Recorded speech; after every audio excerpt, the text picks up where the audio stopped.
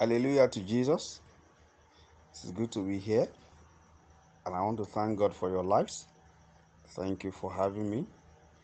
We thank God for what God has been doing since yesterday that we started this conference. We really appreciate Him for what He did in the morning and the afternoon session. And I want to really appreciate you once again for giving out time for God, to learn of God, to know of God. And I know that tonight again, God will be taking us further from where we stopped yesterday. Let us pray. My Father and my God, I really appreciate you for tonight again. Thank you for your children who you have been ministering to since yesterday, since this conference started. Thank you for the utterance. Thank you, Lord, for the revelation. Thank you for the deep things that you have begun to show to us and to impact into our lives, ministries, and destinies. Accept our thanksgiving in Jesus' name. Tonight again, we are here to learn in your presence. Holy Spirit, please teach us. Open our lives, our hearts, our destinies to your word. Thank you, Lord, for all you are going to do. In Jesus' mighty name, we have prayed. So, tonight again, we want to look further from where we stopped yesterday night. Yesterday night, I started talking about teach us. Of course, the general theme of this program is teach us to pray. So, yesterday night, I started with teach us because I'm going to be ministering for three days. So, the first aspect is teach us. Today, I'm going to be talking about when you pray. When you pray. And I trust God again that tonight He's going to give us deep revelations. But tonight, I like to take my text from another uh, instance, another account of the teaching of Jesus on prayers. Yesterday we looked at Luke chapter 11, verse 1. But tonight I'm going to be reading from Matthew chapter 6, verses 5 to 8. And that is our focus for tonight. It was the same account of how the disciples came to Jesus, demanding or requiring that Jesus would teach them how to pray. But this account is a little bit different, not really different in, in, in content, content and context, but it is fuller, so to speak. So I'm going to read from Matthew chapter 6, verse 5 to 8. And when thou prayest, thou shalt not be as the hypocrites are, for they love to pray standing in the synagogues and in the corners of the streets, that they may be seen of men. Verily I say unto you, they have their reward. Verse 6 But thou, when thou prayest, enter into thy closet, and when thou hast shut thy door, pray to thy Father which is in secret, and thy Father which seeth in secret shall reward thee openly. Verse 7 But when ye pray, use not vain repetitions as the heathen do. The heathen there means the Gentiles, the unbelievers, the religious people who possibly have some form of godliness but they deny the power thereof. So, as the heathen do, for they think that they shall be heard of their much speaking. Be not therefore like unto them, for your Father knoweth what things ye have need of before you ask. So tonight I'm going to be talking about three types of prayers as we saw in this our text. Three different types like Jesus was trying to teach the disciples. And you know, in life, there are times that if for you to uh, identify and appreciate the original or the right thing in life, you have to know what the wrong things are.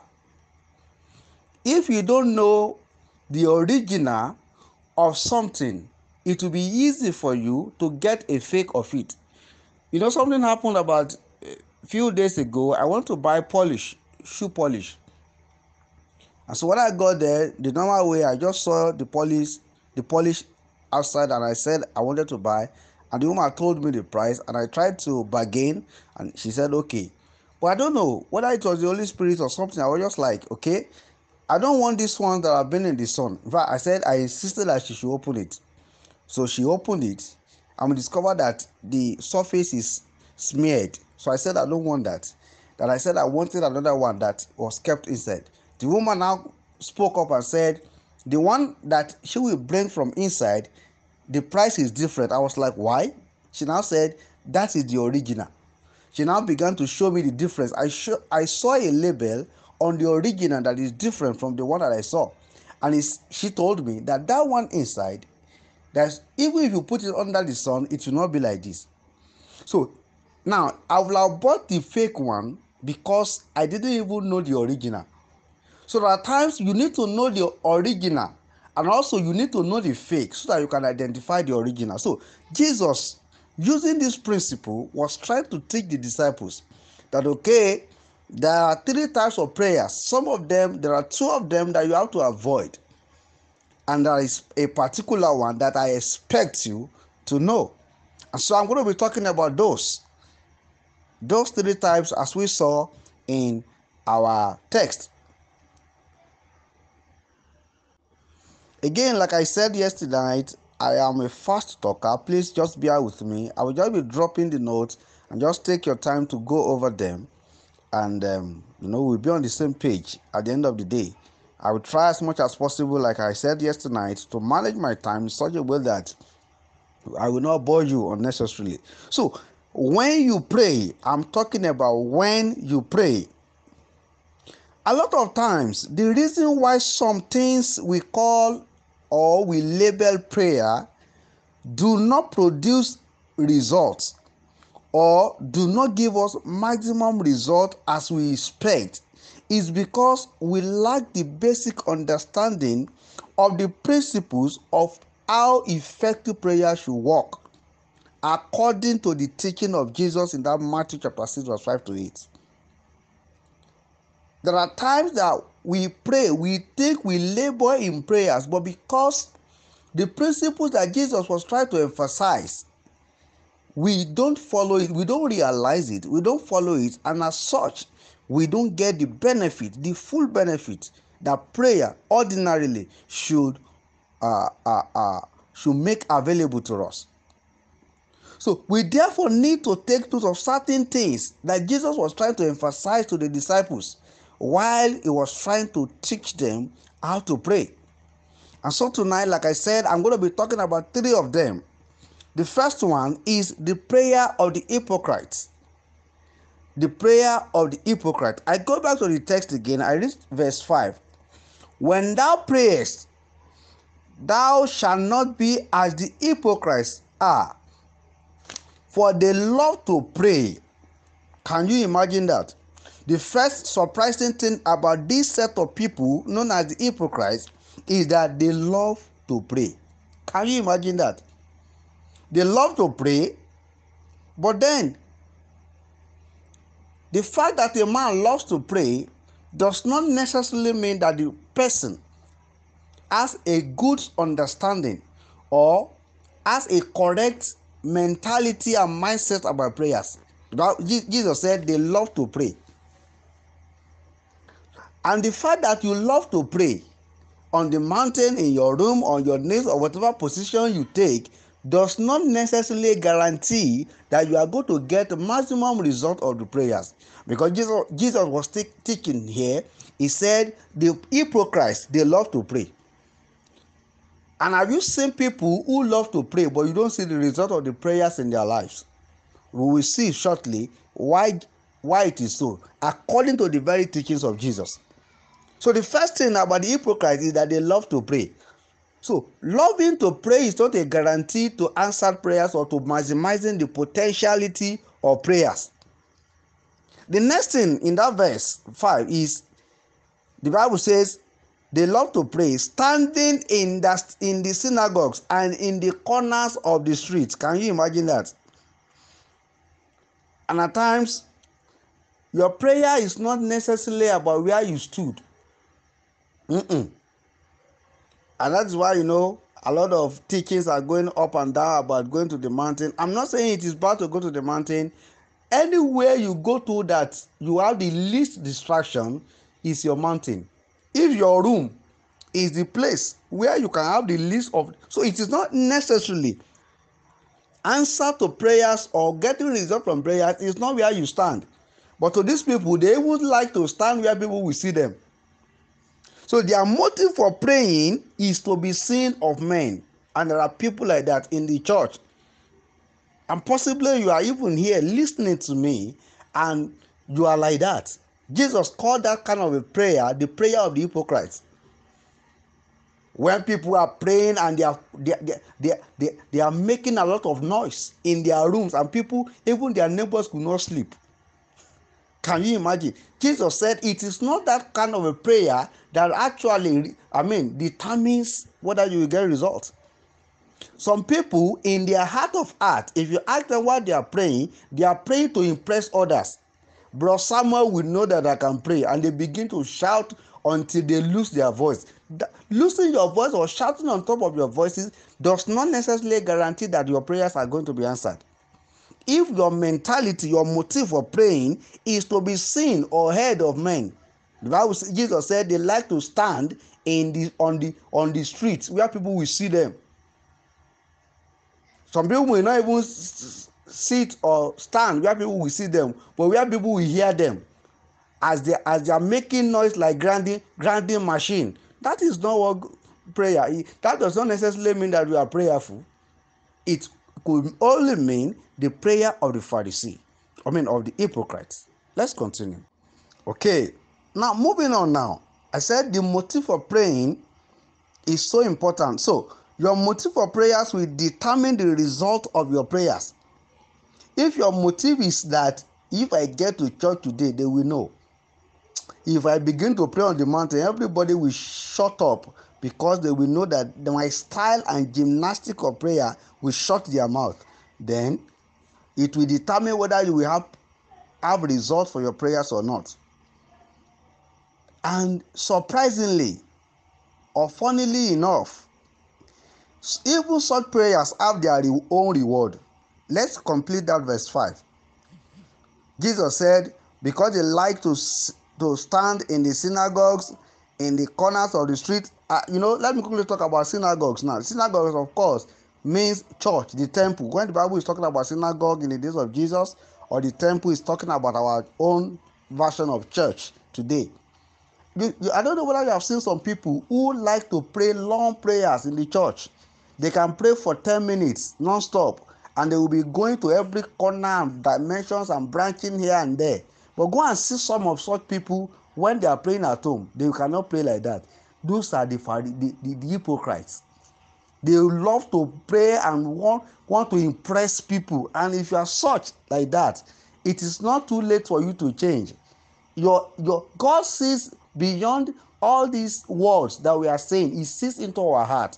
So prayer is more of a thing of the heart than the thing of the mouth. I don't know whether you are getting that. Okay so jesus now said they like to to to stand in on in, in synagogues and on the corners of the streets and that they may be seen of men. Or I also add that they may be heard of men. Verily I say unto you, they have their reward. Even such prayers have their reward. That is, such prayers of the hypocrites, God does not need to answer it. The motive from the onset is for people to hear them. And so when people are hearing them and are commending them, ah, Brother Samuel, oh, he prays a lot. If you hear him praying, he can pray for two hours all the reward for that prayer he has he, they have gotten it. The people they want to see them have seen them. The people they want to hear them have heard them. As they are praying in the church and they are expecting people to clap for them and say ah this man can pray for long. That is their reward. So are you now be, are you now beginning to see why some people are not getting results? Because the motive of their heart is wrong. They want people to acknowledge that they can pray in the public They want people to know that they are prayer warrior and all that we get from that prayer war, war, war, I mean warfare is the reward of getting people to know and the people have applauded them. So if Jesus is saying I'm teaching you to pray. He's saying, don't pray like those hypocrites. Let your mo- mentality and your motive for prayers be pure, be right, be correct. Because if you are praying to men, you will get the result of, of from men. And what can men do to you? Clap for you, commend you, and greet you that oh, ẹ That is number one. Let's move on quickly. I want to jump to verses 7 and 8 now to see another uh, type of prayer that we should not encourage ourselves to pray according to the very teaching of Jesus. I go to chapter uh, verse 7 and 8. Okay. He said, But when ye pray, use not vain repetitions as the heathen do. So the the the the subtopic of this uh, second type of prayer is the prayer of the hidden the hidden means the gentiles it means the unbelievers in fact in the bible according to bible uh, reference in this context it means uh, the the idolaters idol worshippers people who believe in other gods apart from the living God. So the Eden in this, because you know, in, uh, sometimes when you see the Eden in the Bible, uh, it talks about other nations that are not the nation of Israel, and at times it talks about the people that believe in other things apart from God, that have smaller gods. So in this context, the Eden here is talking about people who have other gods. Some of them have familiar spirits. Some of them they have some other religions so the, they also have their own type of prayers. For the Bible says, Jesus said, as the heathen do, for they think that they shall be heard of their of their much speaking. Now, the first thing I want to say about the prayer of the heathen, as taught by Jesus, is that they make use of vain repetitions. Vain repetitions. But I must quick to say here that Repeating a prayer point is not vain repetition. For instance, I want to go and sit for an exam next week. So first day of the week, maybe Saturday next week. On Monday, I pray, God, let me pass this exam. Tuesday, I, I pray, God, let me pass this exam. Tuesday, Wednesday, Thursday. That is not vain repetition. Because the Bible even says, pray until your joy is full. And if you read the account of Jesus when he was praying in the Garden of Gethsemane, he prayed a number of times. You know, he was coming to meet the disciples and asking them, Why are you sleeping? Pray for me. And when he goes back, he was praying the same prayers. So that is not very repetition. So you have to understand. So if your prayer has not produced result as we want over a particular thing, you keep praying it until you have result. That does not mean vain repetition. But you know, vain repetition in the context in which Jesus is speaking here is a ritualistic enchanting or chanting, so to speak, that is common with pagans and some religious sects who believe that it is in saying one word repeatedly that they will get result. I don't want to mention any particular religious uh, sect, but you know some sects who begin to say the same thing, like do it, do it, do it, do it. The way they are saying it, they are not saying it to for emphasis. They are saying it because they believe that it is in saying it repeatedly, chanting it, that it will produce result. And so, as believers, you know, Jesus had to tell the believer, I mean, the disciples there, because they were living among such people as at that time. And of course, even here and right now in our generation, we have even church people who are doing something similar, who believe that you have to chant it, chant it, chant it, so that you know those prayers are not meant to to. I mean, they are not they are not meant for God. So it's not a ritualistic repetition that will actually guarantee performance. I hope you get the fact that it is not repeating prayer, but vain repetition. Do it, do it, do it, do it, do it, do it, do it until you know it. Be, they, some of them now goes to a particular realm that it will not be. It will be as if they have even they have uh, uh, transferred their spirit to another thing. So that's what Jesus is actually talking about. So it could also mean trying to embellish your, your request. That is very uh, repetition.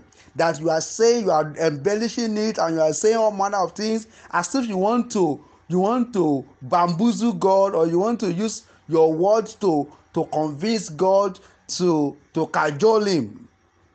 That is not the type of prayer that a believer should pray so you must understand that when jesus is saying the heathen pray you don't pray the the pattern they pray. I don't know whether i'm getting blessed. So it is not the amount of many words you can put together to embellish your word to make it look attractive to god that will get the attention of god. God cannot be bribed by such things. You have to understand. So when we talk about teach us to pray we must understand the principles of prayers as taught by Jesus himself. Now, moving on again, talking about the prayer of the heathen. I think I've done justice to that. But let me go to verse 8. He said, Be not yet therefore like unto them. Like, like that, that is, don't behave like the heathen For your father knoweth what things you have need of before you ask. Mm. Your father knoweth what you what you need before you ask. It's not a father that it is until you ask that he knows you need it. He created you in the first place, so he knows whatever you need even before you ask. And somebody would want to ask. Then, if he knows what I need, why would he want me to ask? That is the principle. I'm going to be talking about that tomorrow. But let me quickly say this. I don't know whether you remember what happened with Adam and Eve. Adam, let me say, when when God discovered that he was lonely, he was playing with the animals, and you know, uh, there was nobody like like him. And God said, "Okay, it was not. It is not good that this man should be alone. Let us look for some somebody that can accompany him, that can uh, uh, uh, fellowship with him, that can be his partner. Uh, remember that he did not ask God. And so God just gave it to him. And so when problem came, after the wife had eaten the forbidden fruit, and he has also eaten it with him, with her, and God came and was trying to say, Why did you do this? He said, The wife you gave me. You know the meaning of that statement? I didn't even ask you for a wife. Maybe you were the one that gave me wife. Not that wife. So he was as it's as if he was blaming God. And so I think since that time, God has made up his mind that okay, whatever anybody we want to need, even though I know their need, let them ask. And so it's a principle in God's kingdom that whatever you need, even though God knows, ask. That is why Jesus will say in Matthew 7 7, ask, you shall be given, seek, you shall find, knock, and it shall be opened. Even though I know what you need, you have to ask. And so, it's a principle that we must follow. So, God knows I'm going to come up to tidy up this quickly, but let me go to the main thing for the day. Let me go for the main thing to the main thing for the day. Now, the prayer of the righteous. The prayer of the righteous. So, to the main business of the day, the prayer of the righteous, because of course, like I said initially, that we have to know the the fake so that we can um, appreciate the original. So now let's go to verse 6 back. Then I will go out back and try to round off or tidy up uh, verse 8. And that is where we're going to call it a day or a night. Verse 6, let me read it. Matthew chapter 5, verse uh, chapter 6, verse 6. But thou, when thou prayest, that is you, when you pray, enter into thy closet. And when thou hast shut thy door, pray to thy father. Take note of thy closet, thy door, thy father, which is in secret, and thy father, which seeth in secret, shall reward thee openly. So I'm going to be talking about four major things that Jesus was trying to teach intentionally from that scripture. I'm talking again the prayer of the righteous. I've given you an insight into the two types of prayers that Jesus did not want us to pray or does not want us to pray the prayer of the hypocrites, the prayer of the idiom. But now, how does he want us to pray? The first thing is your closet. He said, When thou pray, now take note again, he didn't say if you pray. If we make prayer to be maybe if you like conditionally. Mm-mm. he says when meaning that prayer is not optional. If you are going to be a good christian it's not optional. So when you pray when you decide to pray he said the first thing is that enter when you pray enter into your closet. I'm talking about your closet your closet there actually is not necessarily a geographical location or neither is it talking about secrecy per se but it is a spiritual location. Now when the, jesus is saying your closet he's saying he's personifying it. As a christian do you have a place where you regularly or in a spiritual sense that God can say this is where this brother, this sister comes to pray. Do you have, just like you have a phone, you have a SIM card that can be identified with you, that can be traced to you. Do you have a closet in the heavenly realm that God sees you regularly? So what Jesus is saying, go to your closet, it is not necessarily talking about a geographical location where you go to your room and shut the door. Because in actual sense there are different types of prayers that time may not permit me to talk about. Different places. We have congregational prayer we have fellowship i mean uh, family prayer and all of that.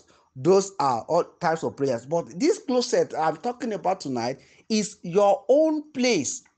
As elijah would say confidently to people he will say God, in the presence of whom I stand. You know, even know that what that means? I have a place before God. That once I get there, God knows that Elijah has come. God knows that our last come has come. So he has a closet. He has a place, just like a post office. If you have a number in post office in those days, you are the one that has the key to that post office. So if you go there, you open it and bring out the letters in it. Do you have a closet with God? So if our prayers will be effective we must have your own closet. Not necessarily a place. It's a geographic i mean it's a spiritual location where you always stand where heaven god always meets you where you are you you you are located is is is is given to you. Where the angels come to take your prayers. I know i i i don't want to dwell so much on that but i have a lot of revelation for that because i'm watching time So Jesus said, Go to your closet. And so tonight, the challenge there is if you don't have a closet as yet, this is the time to go. Let God know your closet. Create an altar for yourself that God can constantly see you there. Elijah will say, God, in the presence of whom I stand. So if I say anything, I'm not saying it flippantly. I'm saying it because I am I have a stand in God's presence. So do you have a stand in God's presence? Let me go on quickly because of time. Another thing that Jesus said is, is he now said, after you have entered your closet, shut your door. Mm. Like I said, that is not necessarily talking about secrecy that okay i close my door so all of you go out i want to pray. No even though that could also mean that you are trying to avoid some distractions physically but the revelation i got from there is that this does not necessarily mean the physical door. Door that you are shutting may, will mean that you are avoiding distraction not shutting the physical door. It is as if everything that can distract your heart, it could be your phone, it could be your mind. You know, there are times that you are trying to pray. I don't know whether it has happened to you. If it has not happened to you before, then maybe you are faking it, or uh, or maybe you are not a real person. You are trying to pray, but your mind is thinking of, of something else. It has happened to me severally. I remember the first time I, I bought my first car some years back. For days I couldn't pray because each time I pray, I see myself driving. So when Jesus is saying shut your door, he's saying shut your mind, shut your phone, shut your physical door, shut your mind, shut everything that can be a distraction to you. So it means full concentration. When Jesus says shut your door, he's not saying the door of your house, your own, your own, your own door. Because there are things in our mind, your, your mind can be noisy in the place of prayers. So when Jesus is saying shut your door, he's saying remove all distractions that will not allow you to connect with God. Shut your door, not the physical door. I don't know whether I'm making any sense. Another thing that Jesus said there in that verse 6, the same. He said, and your father, mm, that is deep. You pray to your father. And I ask you this question Who are you really praying to? Like the first question, I mean, the, the first thing I was talking about when we were talking about the hypocrites. Some people pray so that others can hear them. So if you go to the place of prayer, Jesus is saying, pray to your father. You know, Jesus was deliberate about using those words. Jesus is not, he is not a man that just speaks anyhow, he speaks his words. He didn't say, pray to my father, even though Jesus knew that God is his father, but he was praying, pray to your, your own, your father. So who are you really praying to? Your father or their father or our father? This is talking about personal relationship with God, your father, not our father, not their father. Because some people, some youths particularly, they see God as the God of their parents, not their God. Jesus was deliberate to say your father. And of course, if God is not your father, then whatever thing you say, you think you are doing in the place of prayer is a waste of time. Because prayer is meant to be made to your father, your, your father. This talks about relationship. There must be a pre-existing relationship between you and the God you claim you are praying to.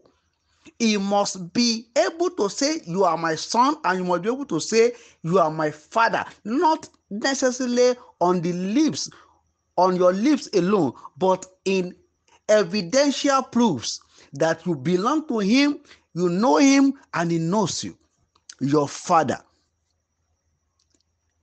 And prayer to you as a believer should not be a visitation by a stranger. No, that okay, I need something. Let me quickly go. And you know, I imagine somebody coming to my house every now and then and say, Daddy, uh, sir, give me, give me 10 naira. He goes again, 10 months later, he comes, give me. No, I, I, will call him and tell him, don't come here again. I, I don't know you. So it must be a prayer to your father. You are not a stranger to God each time you come. God already knows your voice. She know that this sister has come again. I know her voice. Jesus said something in John chapter 10. He said, I know my sheep, and my sheep know me. They will hear my voice and they will follow me. It does if you can flip that statement so if i hear their voice too i will respond to them so prayer is not a an occasional thing or a stranger a stranger to stranger kind of a thing it must be to your father and that is why a lot of people don't get results if there's something that christianity as a religion not as a relationship i'm sorry to say that has abused his prayers. Everybody is praying now, including 419, including thieves, including prostitutes. Praying to who? A father. I don't think God answers such people. Jesus was telling a woman, He said, How will I give the, the, the meat that belongs to son to dogs? to dogs. Meaning, even God recognizes that before I can do anything for any other person, my own children who recognizes me or who recognize me as their father will go first get my attention. He said the crumbs that get from under the table is the one that get to the others. So if you want to get the full benefit of prayers, God must be your father and you must maintain a cordial, consistent, persistent relationship with him. And so, another thing that Jesus said in that verse 6, and he said, Pray to thy Father which is in secret, and thy Father which seeth in secret mm, shall reward thee openly. And another thing I want to say there is that your Father sees secrets. So it means that you can't you cannot fake it before God. The Bible says in First Samuel chapter 2, verse 3, thereabout, that by God actions are weighed. So if you are thinking you are faking it, you are an hypocrite, and you are saying, Ah, eh, I'm praying to God, God, you must answer. God sees your secret. And so a lot of times, all these little, little things that looks as if they are not important, that is what God is looking at. That is why our prayer life are not productive, are not fruitful. Our Father sees beyond whatever we are saying with our mouth. People will be commending you and say you are praying, you are a prayer word, but God sees the secrets. So your Father knows your secrets, and His reward and answer is dependent on what He sees in your secrets. I don't know whether you got that statement. You cannot, you cannot deceive God. You cannot deceive God. You can close all the doors on the earth and you will still not be in the secret. You can close the door, the, the gates to your house, the door to the sitting room, the door to your room, and even go to your wardrobe and pray. God sees beyond all of that. So a secret place is not necessarily a place that is secret as far as geographical location is concerned. A secret place is the place in which God, you are open to God and God is open to you. God sees your heart. So closing all the doors, shutting all the doors does not necessarily guarantee secrecy because God sees all of those things. So your father knows your secret and his reward and answer to your prayer is dependent on what he sees in the secret. If your secret is that you, are, you have a lot of sins, bitterness, anger, malice in your secret, God sees it. In other words, open reward is a result of secret labor. Mm. Please digest some of these words. Open reward. Because the Bible says that your father who sees your secret, he knows that you are you are either praying right or not. He knows it. So he will openly reward you if he sees that your secret place is correct. So if you want results for your prayers, your secret must be right, must be correct. So your father will openly reward. So now the physical manifestation or the effectiveness of prayers is seen in the open, but actually the labor is in the secret. You must understand that. I'm trying to rush now because my time is up. When testimonies of answered prayers are lacking in your life, it is a testimony to the fact that something is wrong in your secret place. Because prayer is is is a an activity that is done in the secret. And let me say this somebody will be asking that uh, in the secret what about the prayers i pray in the church? You, it is a mentality that if I am going to pray and God will answer and God will take note of my prayer, I must have this mindset that each time I am praying, I am not praying and I'm still uh, uh, uh, I'm still familiar with my environment. Even when I'm in the congregation and they, they, they are asking us to pray, I am praying with that mentality that I am still in the secret. I am not aware of my environment. That's why you see some people, this, I mean, displaying a lot of ignorance in prayers. As they are praying, they are pulling their skirts, they are cleaning their shoe. That is now, that is not a kind of prayer that produces results.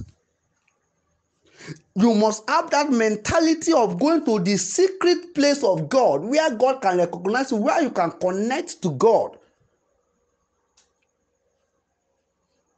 I don't know whether you are getting blessed. So, when you want to have an open reward, an open testimony of an effective, effectual prayer, you must labor right in the secret. I round off now by going to the last thing I said I was going to round up, I mean, uh, wrap up because my time is up. So, verse 8 says, Be, ye, be not ye therefore like unto them, for your father knoweth what things ye have, ye have need of before you ask. So, if you got or if you get all of these things that I've said right, by the grace of God, you can be rest assured that as you pray, you are not praying for something that God does not have. You are praying for something that God has already prepared for you and that He knows that you need them even before you were created. Look at God, for instance, when He was creating heaven and earth. He has he had created everything man would ever need before creating man. And so the same principle is what God operates. The same way some parents will even open account for their children do you think God is not a wiser one million times than, than, than men? So he knows what you need. And so when you pray, that should excite you that if you do it right, God knows what you need even before you. He just wants you to ask and he will give to you. The prodigal son, all he asked, the father gave him. And the father still have more, much more. And that is God to you. So at times, because God knows what we need, so when we pray the right way, he, he wants us to pray. He, he we even add other things that we didn't ask or that we didn't even know that we need. Do you remember Solomon? What Solomon thought he needed was wisdom. But because he understood the mind of God and he prayed right, God added words to him. So, the same way, we should have that understanding that after we have gotten it right, we are not praying like the hypocrite, we are not praying like the heathen, we are praying righteously in following these principles that Jesus taught us. Jesus, God had the capacity to give us more because He knows what we need more than we that need it. Hallelujah to Jesus. So, as I round up tonight, don't forget if our prayer lives will be effective, we must follow the teachings of Jesus as we have seen tonight. So tomorrow again, by the grace of God, I will continue and we'll see some other aspects. Thank you for listening, listening to the message. I want you to get back to me if you are, if you have gotten. I mean, you are, you are you are blessed. Thank you so much for listening. So tomorrow again, we are going to go a little bit further. When you pray, that is the topic tonight. Let us pray. Father, we thank you for another revelation time in your presence. Thank you for all that you did, how you have opened our eyes and our hearts to your word. Be thou exalted in Jesus' name. We ask in your name, O Lord, that this revelation that you have given to us, they will not just be mere revelations that we add to our head knowledge, but they will add to our effective prayers. They will inspire us. They will, they, they will provoke us to do so much more in the place of prayers and get results that will make our lives glorious and to fulfill and conform with what we have in mind for our lives and destinies. Thank you so, so much for what you have done tonight. As this conference continues tomorrow, Lord, take us to perfection. Glorify yourself. Thank you, Lord, for all you have done. In Jesus' mighty name, we have prayed. So God bless you, brethren, for listening. I appreciate you. See you tomorrow night. Good night.